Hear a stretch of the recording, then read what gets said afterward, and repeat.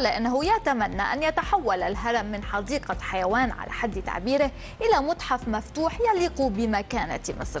وقال إن السبب في ذلك هو انتشار ظاهرة ركوب الإبل والخيل في المنطقة. وأكد أن كل السياح في مصر يشتكون من هذه الظاهرة. وتابع بأنه قرأ تصريح لإحدى السائحات تقول فيه بأنها لن تعود للسياحة في مصر بسبب تعرضها لمضايقات كبيرة وللتحرش. ومن بعد التصريح اشتعل الجدل في مصر فالكثير من الناس اعتبروا أن كلامه صحيح وأن منطقة الأهرامات بالفعل تعاني من هذه الظاهرة ولا بد من معالجتها. ومنهم من تساءل لماذا لم يقم بالمبادرة ويتخذ هذا القرار عندما كان وزيرا للسياحة.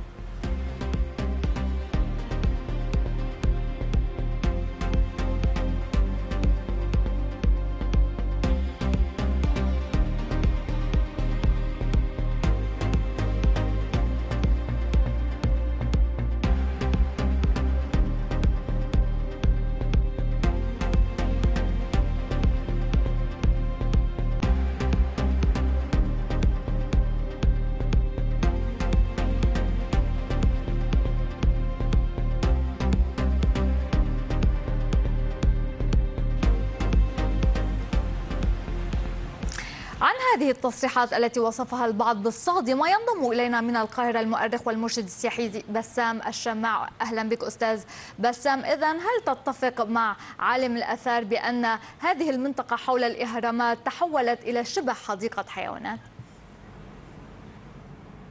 منطقة الأهرامات بالجيزة ومنطقة أبو الهول منطقة شاسعة وواسعة جدا. وهي المشكلة مشكلة مزمنة الحقيقة يعني مشكلة تجاوز البعض بنسبة ما إذا كانوا من أصحاب مثلا فكرة الجمال أو ركوب الجمال أو التمتع في المنطقة طريقة الاقتراب من السائح أو من السائحة بطريقة معينة. فهذه مشكلة مزمنة. أنا أذهب إلى هذه المناطق منذ سنة 1985 ومنطقة الأهرامات بتعاني بنسبة كبيرة مما ذكره الدكتور زاهي حواس رغم يعني تحفظي على كلمة حديقة حيوان.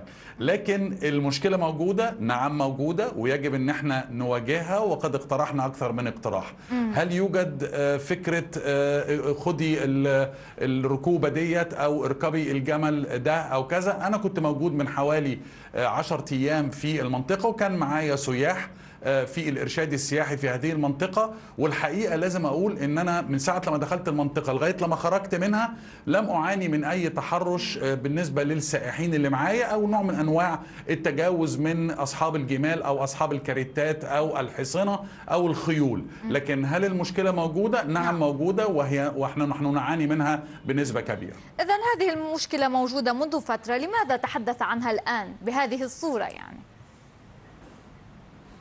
أنا بعتقد أن ربما يعني نحن نتكلم في هذا الموضوع منذ سنوات والدكتور زاهي ذكر هذا أيضا هذه المشكلة منذ سنوات. ربما مصطلح حديقة حيوان هو الذي جعل من المنشات أو من عنوان التصريح بتاعه تصريح أكثر جاذبية.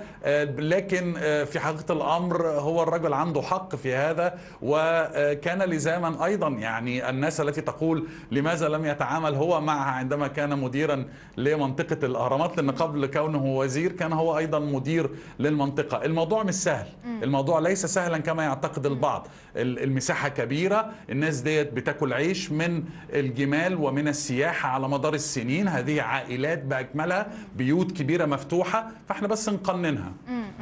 أنت كان لديك مقترحات يعني لضبط هذا الموضوع ولتحسين الخدمات في هذه المنطقة السياحية من باب أول يعني في مصر. نعم يعني وجدت هذا عندما زرت منطقة الأهرامات في الثلاث شهور اللي فاتوا بشكل دوري.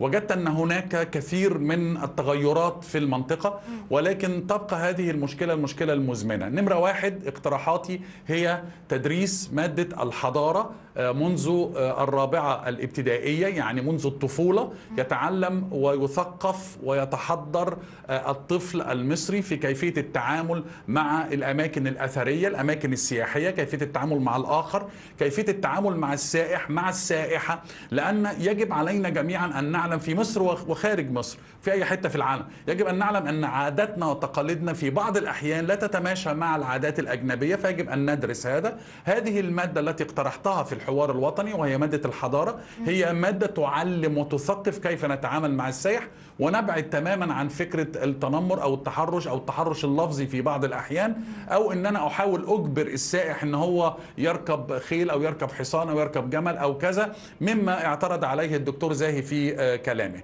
ده نمرة واحد. نمرة اتنين نقنن فكرة الجمال والخيول والكاريتات بأن كلهم كل هؤلاء يرتدوا uniform واحد لباس واحد عليه اسمه عليه ال name tag بتاعه عليه وظيفته وسنه. كل عام يمر على نوع من أنواع التدريس نوع من أنواع الصحة التأمين الصحي كل هذا وبالتالي تصبح مقننة ويصبح هذا الرجل الذي يريد أن يرتزق يرتزق بشكل كويس ونظيف ولا نعم. يؤدي إلى سلبيات في منطقة الأهرامات. نعم. شكرا جزيلا لك. كان معنا من مصر أو من القاهرة تحديدا المؤرخ والمرشد السياحي بسام الشماع. شكرا جزيلا لك.